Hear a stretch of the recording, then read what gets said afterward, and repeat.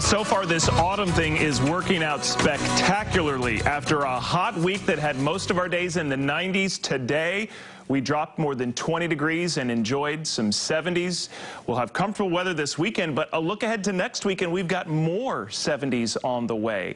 And I know most of us getting tucked into bed right now, but outside, you know it's cooler. 40s and 50s. These temperatures right now, thanks to last night's cold front, are anywhere from 14 to 16. How about 18 or even 22 degrees cooler right now in Wilson and Rocky Mount than where we were last night at 11. And while tomorrow isn't going to be as perfect, still not too shabby. It starts off cool with temperatures in the upper 40s. That's the coolest since May, nearly five months.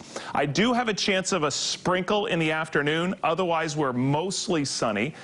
Temperatures climbing up to 76 by the afternoon. And I'm going to send you into the weekend with this super sunset from Key West. An amazing shot from Steven. Thanks so much. That actually right there is sports director Chris Clark's, one of his many yachts out there in Key West. But we love this super sunset and the ship. And I'll put it on my Twitter, Instagram, and Facebook page just as soon as I'm done here. And Chris has got some high school football just as soon as I'm done here. So let's walk through the weekend quickly because there's not a whole lot going on, but it's not 100% percent dry. We've got a few fair weather clouds throughout the day tomorrow. You see a little bit of rain showing up to our west. That's what I'm thinking might show up in the afternoon as a sprinkle. Otherwise, a few extra clouds, but once again, temperatures in the 70s. So tomorrow, 10% maybe. Sunday, it's a dry day.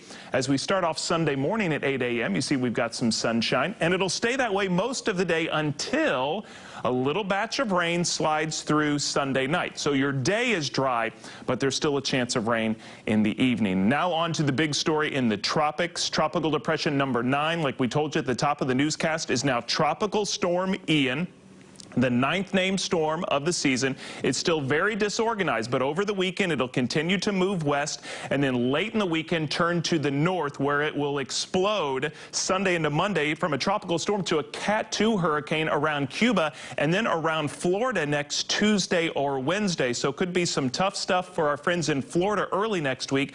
But where does it go after that? There's several possibilities. We don't know which one's going to happen, to be honest with you. The best would be if it shoots offshore no impacts for us here in North Carolina. It could come right over us. That would be our biggest impact. Or if it stays out to the west of us, we could have minor impacts. Again, we don't know yet. We'll have to watch it over the weekend.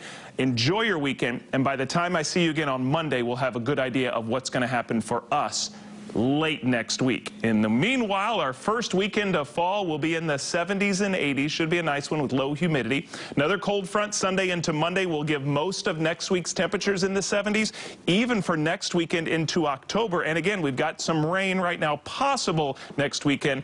We'll keep an eye on the tropics. Right now, Chris Clark is keeping an eye on high school football. Here's the Blitz.